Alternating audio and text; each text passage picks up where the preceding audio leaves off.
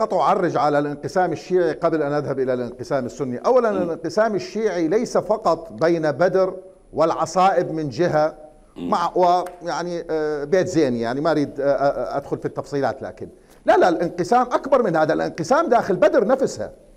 بمعنى عندما رشح السيد هادي العامري محمد يعني محمد جاسم العميري نعم. ولاحظنا بوضوح لاحظنا بوضوح انه مثنى مثنى التميمي رفض هذا الترشيح بشكل مطلق وفي فيديو علني. أي. وبالتالي الحديث عن وحدة قرار داخل كتلة بدر هذا غير صحيح.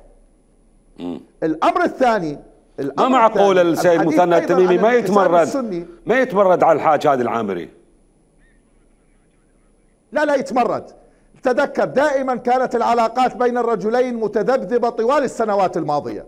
يعني لا أريد أن أعود إلى التاريخ ولكن لا لا كان دائما هناك صراع بين الرجلين حول قضايا كثيرة. لا أريد أن أدخل في التفصيلات يعني. ولكن كل من يتابع شأن ديالا يعرف بهذه الحقيقة.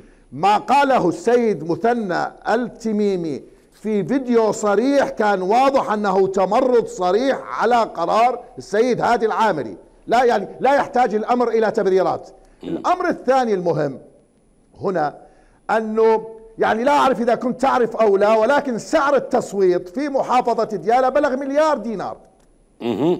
بمعنى هناك سعر وصل إلى مليار دينار لكي تصوت لسين أو صاد.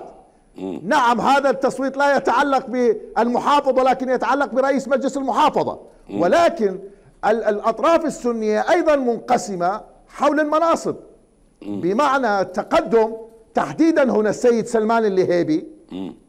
يعني يريد منصب رئيس مجلس المحافظة للاستثمار به. الجميع يعرف أنه أهم المستثمرين السياسيين في المال العام في دياله هو السيد سلمان اللهيبي وبالتالي هو يريد منصب رئيس مجلس المحافظة للاستمرار بهذه العملية. بالمقابل هناك أطراف أخرى تريد السيد عمر الكروي.